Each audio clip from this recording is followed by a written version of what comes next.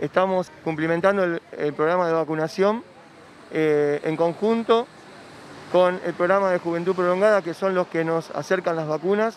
Estamos logrando llegar a toda la población de Boulogne, de mayores de 60 años y de gente con patologías de riesgo.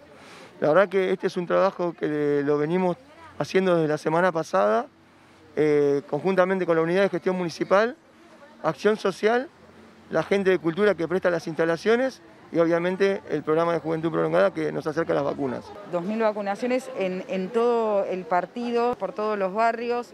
Hay un cronograma ordenado, se le va informando a la gente de qué día y en qué horario vamos a estar vacunando y así es como lo vamos llevando adelante. La verdad que la respuesta de la gente es increíble.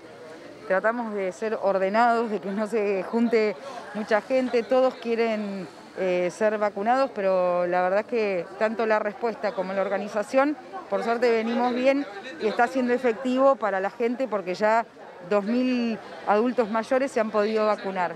Este es un trabajo de poder estar en la calle, lo que queremos hacer siempre, que es poder vincular las áreas. En este caso el área que trabaja ter- tercera edad, el programa de juventud prolongada, el área de salud pública, el área de las delegaciones descentralizadas, en este caso estar en Bulón, acá en el Centro Cívico de Bulón. Así que es una tarea donde nosotros vamos a donde está la necesidad, en este caso la necesidad de la vacunación contra la gripe para las personas mayores, para las personas que están en estado vulnerable.